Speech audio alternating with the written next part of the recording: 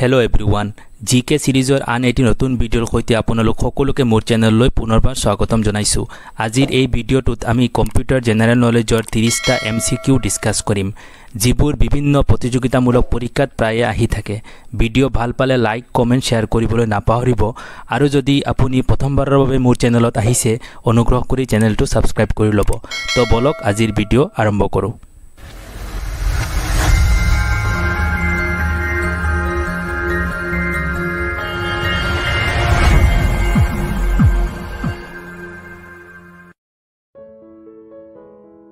প্ৰথম প্ৰশ্নত ইয়াত কোৱা হৈছে কম্পিউটাৰ শব্দটো ইয়াৰে কোনটো ভাষাৰ পৰা আহৰণ কৰা হৈছে অপশ্যন এ দিয়া হৈছে French option B Germany option C Latin option D Arabic. ইয়াৰে কোনটো ভাষাৰ পৰা কম্পিউটাৰ শব্দটো আহৰণ কৰা হৈছে? শুদ্ধ উত্তৰটো হ'ব লেটিন ভাষাৰ পৰা কম্পিউটাৰ শব্দটো আহৰণ কৰা হৈছে। দুই নম্বৰ প্ৰশ্ন ফাদাৰ অৱ ইণ্টাৰনেট ইণ্টাৰনেটৰ পিতৃপুৰুষ কোন? Option A Charles বেবেজে option B John McCarthy option C bin Cerf. Option D Berners Lee. ইয়াৰে শুদ্ধ উত্তৰটো হ'ব বিণ্ট চাৰ্ফ। তিনি নম্বৰ প্ৰশ্ন first generation computers were developed during প্ৰথম প্ৰজন্মৰ কম্পিউটাৰ বিকশিত কৰা হৈছিলে nineteen forty to nineteen fifty six চন নে বি অপশ্যন দিছে nineteen fifty six to nineteen sixty three C option nineteen sixty four to nineteen seventy one বা D option দিয়া হৈছে নান অফ দিছ ইয়াৰে কোনটো চনৰ ভিতৰত প্ৰথম জেনেৰেশ্যনৰ কম্পিউটাৰ ডেভেলপ কৰা হৈছিলে মনত ৰাখিব ফাৰ্ষ্ট জেনেৰেশ্যনৰ কম্পিউটাৰ ডেভেলপ কৰা হৈছিলে ঊনৈছশ চল্লিছ চনৰ পৰা ঊনৈছশ ছাপন্ন চনৰ ভিতৰত। চাৰি নম্বৰ প্ৰশ্ন what generation of computers we use today আজিকালি আমি কি প্ৰজন্মৰ কম্পিউটাৰ ব্যৱহাৰ কৰোঁ? Option A fourth generation computer B six generation computer tenth generation computer আৰু ডি অপশ্যন দিয়া হৈছে ফিফ্থ জেনেৰেশ্যন কম্পিউটাৰ আজিকালি আমি মনত ৰাখিব ফিফ্থ জেনেৰেশ্যনৰ কম্পিউটাৰ ব্যৱহাৰ কৰি আছোঁ য'ত আৰ্টিফিচিয়েল ইণ্টেলিজেঞ্চ বা এ আইৰ ব্যৱহাৰ হৈ আছে।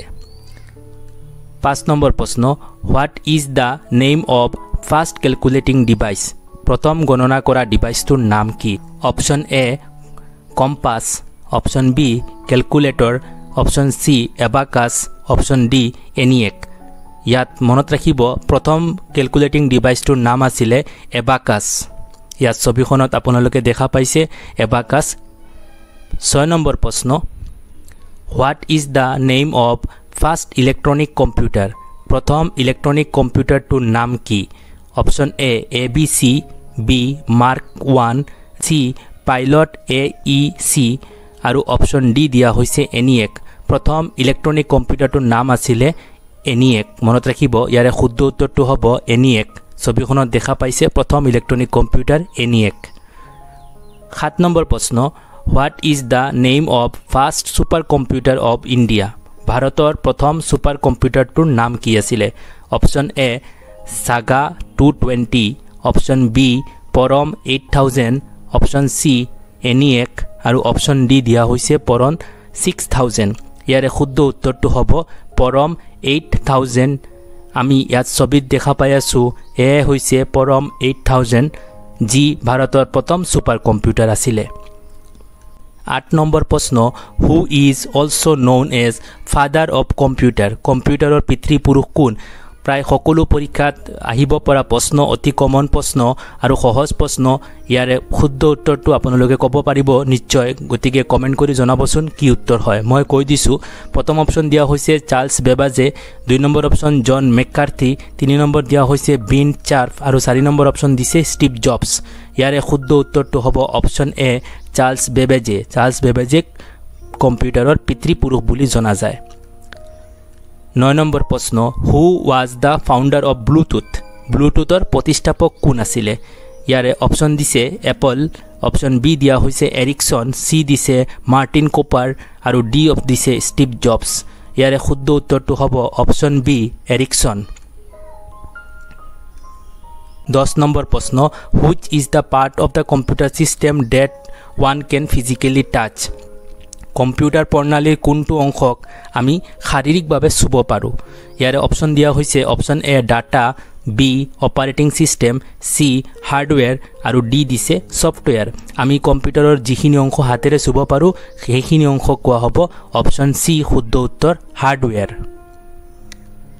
এঘাৰ নম্বৰ প্ৰশ্ন I C chips used in computers are usually made of কম্পিউটাৰত ব্যৱহৃত আই চি চিপবোৰ সাধাৰণতে কিহেৰে তৈয়াৰী মানে কি ধাতুৰে নিৰ্মিত হয়? আই চি চিপসমূহ ইয়াৰ অপশ্যন এ দিয়া হৈছে lead option B silicon C chromium আৰু ডি গ'ল্ড ইয়াৰে শুদ্ধ উত্তৰটো হ'ব আই চি চিপসমূহ নিৰ্মিত কৰা হয় চিলিকনেৰে আৰু আই চি চিপৰ ফটো মই ইয়াত দি দিছোঁ। এনেদৰে আই চি চিপসমূহ থাকে। বাৰ নম্বৰ প্ৰশ্ন Google W W W dot Google dot com is a Google কি হয়? Option A browser B directory of images C search engine D chart service on the web ইয়াৰে শুদ্ধ উত্তৰটো হ'ব option C search engine Google এটা search engine হয়। তেৰ number প্ৰশ্ন W W W stands for W ডাব্লিউৰ সম্পূৰ্ণ ৰূপটো কি? Option A world wide windows option B world wide web option C world wide war option D world web wait ইয়াৰে শুদ্ধ উত্তৰটো হ'ব option B world wide web চৈধ্য number প্ৰশ্ন D T P কম্পিউটাৰত ব্যৱহৃত টাৰ্ম ডি টি পিৰ সংক্ষিপ্ত যিটো টাৰ্ম তাৰ সম্পূৰ্ণ ৰূপটো কি? অপশ্যন এ দিয়া হৈছে digital transmission protocol option B desktop publishing option C data type programming option D document type processing. ইয়াৰে শুদ্ধ উত্তৰটো হ'ব option B desktop publishing D T পিৰ সম্পূৰ্ণ ৰূপ হৈছে ডেস্কটপ পাব্লিছিং পোন্ধৰ নম্বৰ প্ৰশ্ন H T T P colon slash W W W dot YouTube dot com is an example of what এই যিটো লিংক দিয়া হৈছে সেই লিংকটো কিহৰ উদাহৰণ? এক number option an access code option B a U R L option C a directory আৰু অপশ্যন ডি এ ছাৰ্ভাৰ ইয়াৰে শুদ্ধ উত্তৰটো হ'ব option B a U R L আপোনালোকে কমেণ্ট বক্সত ইউ আৰ এলৰ সম্পূৰ্ণ ৰূপ যদি জানে কমেণ্ট কৰি জনাবচোন। তাৰপিছত আমি ষোল্ল নম্বৰ প্ৰশ্নলৈ আগবাঢ়ি গৈছোঁ। ষোল্ল নম্বৰ প্ৰশ্নত আছে what is the full form of G U I in terms of computer কম্পিউটাৰৰ ক্ষেত্ৰত জি ইউ আইৰ সম্পূৰ্ণ ৰূপটো কি? Option A graphical user instruction option B graphical unified interface option C graphical unified instrument option D graphical user interface ইয়াৰে শুদ্ধ উত্তৰটো হ'ব graphical user interface G U আইৰ সম্পূৰ্ণ ৰূপ হৈছে গ্ৰাফিকেল ইউজাৰ ইণ্টাৰফেচ সোতৰ নম্বৰ প্ৰশ্ন ওৱান এম বি বা one megabyte is equal to one MB B কিমান মান হ'ব? ইয়াৰ অপশ্যন দিয়া হৈছে এক হাজাৰ চৌব্বিছ বাইট সমান অপশ্যন বি দিয়া হৈছে এক হাজাৰ চৌব্বিছ কিলো বাইট চি অপশ্যনত দিয়া হৈছে এক হাজাৰ চৌব্বিছ গিগাবাইট আৰু ডিত দিয়া হৈছে নান অফ এবভ। ইয়াৰে শুদ্ধ উত্তৰটো হ'ব অপশ্যন বি এক হাজাৰ চৌব্বিছ kilo byte one M B বা ওৱান মেগাবাইট সমান হৈছে এক হাজাৰ চৌব্বিছ কিলো বাইট ওঠৰ নম্বৰ প্ৰশ্ন fastest type of computer memory দ্ৰুততম প্ৰকাৰৰ কম্পিউটাৰৰ মেমৰি কি হয়? অপশ্যন এ দিয়া হৈছে cache memory option B RAM C ROM D hard disk. ইয়াৰে শুদ্ধ উত্তৰটো হ'ব দ্ৰুততম প্ৰকাৰৰ মেমৰি হৈছে অপশ্যন এ কেচ মেমৰি। ঊনৈছ নম্বৰ প্ৰশ্ন touch screen is a dash device. Touch screen কি প্ৰকাৰৰ ডিভাইচ হয়? Option A input device. Option B output device. C processing device. আৰু D both A and B. Touch স্ক্ৰীণৰ সহায়ত আমি ইনপুটো দিব পাৰোঁ আৰু ছবি ইত্যাদিও চাওঁ। গতিকে টাচ স্ক্ৰীণখনে দুই প্ৰকাৰে কাম কৰিব। কেতিয়াবা ইনপুট হিচাপে কেতিয়াবা আউটপুট হিচাপে। গতিকে ইয়াৰ শুদ্ধ উত্তৰটো হ'ব option D both A and B মানে টাচ স্ক্ৰীণ ইনপুট ডিভাইচো হয় লগতে আউটপুট ডিভাইচো হয়। বিছ নম্বৰ প্ৰশ্ন A L U stands for A L ইউৰ সম্পূৰ্ণ ৰূপ কি? এ দিয়া হৈছে এৰে লজিক ইউনিট বি অপশ্যনত দিয়া হৈছে এপ্লিকেশ্যন লজিক ইউনিট চিত দিয়া হৈছে এৰিথমেটিক এণ্ড লজিক ইউনিট আৰু ডি অপশ্যনত দিয়া হৈছে এলফা নিউমেৰিক লজিকেল ইউনিট ইয়াৰে শুদ্ধ উত্তৰটো হ'ব এ এল ইউৰ সম্পূৰ্ণ ৰূপ arithmetic and logic unit option C is the correct answer একৈছ নম্বৰ প্ৰশ্ন ৰেম ইন নেচাৰ ৰেমৰ প্ৰকৃতি কি? ৰেম এক প্ৰকাৰৰ মেমৰি হয় আৰু সেই ৰেমৰ প্ৰকৃতি কি? অপশ্যন দিয়া হৈছে dynamic option B volatile option C non volatile আৰু ডি দিয়া হৈছে কনষ্টেণ্ট ইয়াৰে শুদ্ধ উত্তৰটো হ'ব ৰেম হৈছে ভলেটাইল মেমৰি ভলেটাইল মানে হৈছে টেম্পৰাৰী মেমৰি বিছ নম্বৰ প্ৰশ্ন U S B is which type of storage device U S B কোন প্ৰকাৰৰ ষ্ট'ৰেজ ডিভাইচ হয়? অপশ্যনত দিছে অক্সিলাৰী বিত দিয়া হৈছে টাৰ্চেৰী চিত দিয়া হৈছে ছেকেণ্ডৰী আৰু ডিত দিয়া হৈছে প্ৰাইমাৰী। ইয়াৰে শুদ্ধ উত্তৰটো হ'ব secondary U S B secondary টাইপৰ ষ্ট'ৰেজ ডিভাইচ হয়। তেইছ নম্বৰ প্ৰশ্ন the smallest memory unit in a digital system is digital প্ৰণালীত মেমৰিৰ আটাইতকৈ সৰু এককটো কি? Option A bit option B byte option C nibble আৰু অপশ্যন ডি দিয়া হৈছে কিলো বাইট ইয়াৰে শুদ্ধ উত্তৰটো হ'ব বিট। মনত ৰাখিব, বিট শব্দটো আহিছে বাইনেৰী ডিজিটৰ পৰা। গতিকে বিট হৈছে মেমৰিৰ ক্ষুদ্ৰতম ইউনিট। বিছ নম্বৰ প্ৰশ্ন, the output shown on the computer monitor is called. Computer মনিটৰত দেখুওৱা আউটপুটক কি বুলি কোৱা হয়? Option A V G A option B, hard copy. C, screen copy. D soft copy computer মনিটৰত যি আউটপুট দেখা পাওঁ তাক আমি ছফ্ট কপি বুলি জানো। ইয়াৰ শুদ্ধ উত্তৰ অপশ্যন ডি পঁচিছ নম্বৰ প্ৰশ্ন which among following is commonly use language in Android application Android এপ্লিকেশ্যনত নিম্নলিখিত কোনটো ভাষা সাধাৰণতে ব্যৱহাৰ কৰা হয়? Option A C language option B C plus plus language option C Java language নে option D P H P ইয়াৰ শুদ্ধ উত্তৰটো হ'ব অপশ্যন চি জাবা লেংগুৱেজেই বেছি ব্যৱহাৰ কৰা হয় এণ্ড্ৰইড এপ্লিকেশ্যন বনাওঁতে। ছাব্বিছ নম্বৰ প্ৰশ্ন dot H T M L is use to create dot H T M L ব্যৱহাৰ কৰা হয় ডেছ বনাবলৈ অপশ্যন এ ৱেব ছাৰ্ভাৰ বনাবলৈ option B high level program option C web page option D machine language program ইয়াৰে শুদ্ধ উত্তৰটো হ'ব option C web page বনাবলৈ dot H T M L ব্যৱহাৰ কৰা হয়। সাতাইছ নম্বৰ প্ৰশ্ন a computer on internet are identified ইণ্টাৰনেটত সংযুক্ত এটা কম্পিউটাৰ ইয়াৰে কিহৰ দ্বাৰা চিনাক্ত কৰা হয়? Option A email address. Option B street address. Option C I P address. নে option D G P S address. ইয়াৰে শুদ্ধ উত্তৰটো হ'ব option C I P address.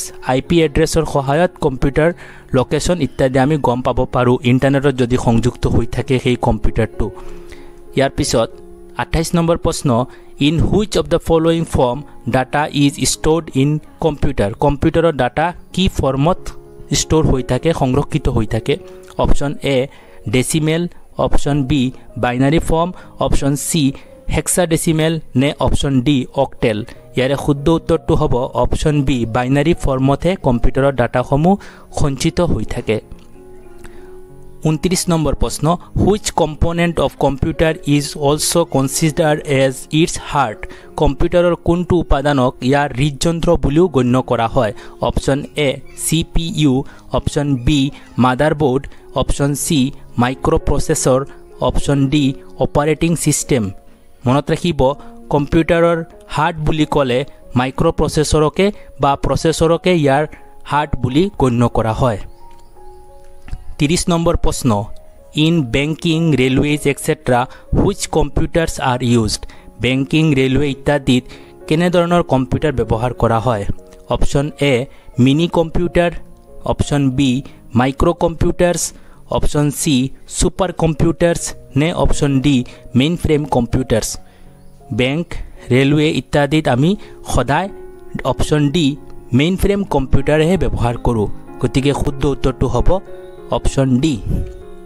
তো এইকেইটাই আছিলে আজিৰ এই ত্ৰিছটা প্ৰশ্ন। আৰু লাষ্টত আপোনালোকৰ কাৰণে একত্ৰিছ নম্বৰ এটা প্ৰশ্ন আগবঢ়াব গৈ আছোঁ যিটো প্ৰশ্ন একেবাৰে সহজ আৰু আশা কৰোঁ সকলোৱে সেই প্ৰশ্নটোৰ উত্তৰ মোক কমেণ্ট কৰি জনাব পাৰিব। তো প্ৰশ্নটো হৈছে যে moving from one website to another is called এটা ৱেবছাইটৰ পৰা আন এটা ৱেবছাইটলৈকে যোৱাকে কি বুলি কোৱা? অপশ্যন এ দিছোঁ roaming B attachment C uploading আৰু অপশ্যন ডি ব্ৰাউজিং এটা ৱেবছাইটৰ পৰা আন এটা ৱেবছাইটলৈকে যোৱাকে কি বুলি আমি কওঁ? সেই অপশ্যনটো আপোনালোকে শুদ্ধ অপশ্যনটো কমেণ্ট কৰি নিশ্চয় জনাব। আৰু এইখিনিতে আজিৰ এই ছেশ্যনটো শেষ কৰিছোঁ। পৰৱৰ্তী নতুন এটা ভিডিঅ'ৰ সৈতে আপোনালোক সকলোকে লগ পাম বুলি আশা ৰাখিছোঁ। যদি আপুনি এতিয়াও মোৰ চেনেলটো ছাবস্ক্ৰাইব কৰা নাই অনুগ্ৰহ কৰি চেনেলটো ছাবস্ক্ৰাইব কৰি ল'ব আৰু কাষতে থকা বেল আইকনত ক্লিক কৰি অল নটিফিকেশ্যন ছিলেক্ট কৰি ৰাখিব যাতে মই ভিডিঅ' আপলোড কৰাৰ লগে লগে আপুনি পোনপ্ৰথমে ভিডিঅ'সমূহ চাব পাৰে আৰু ভিডিঅ' ভাল পালে লাইক কৰিব। তো এইখিনিতে আজি সমাপ্ত কৰিছোঁ। ধন্যবাদ।